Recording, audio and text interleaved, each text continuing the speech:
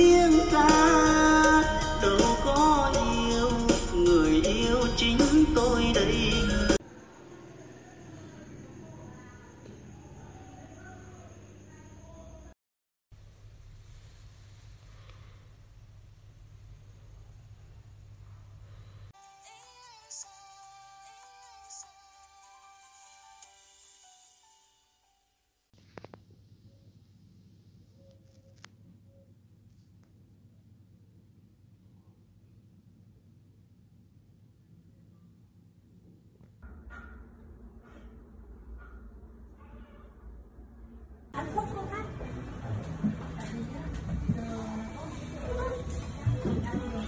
đây STD mà ngõ Pri thôi kìa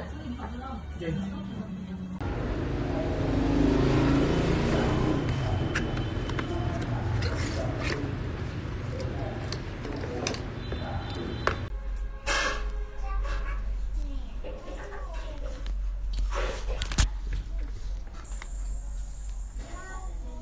cái này sao mà nó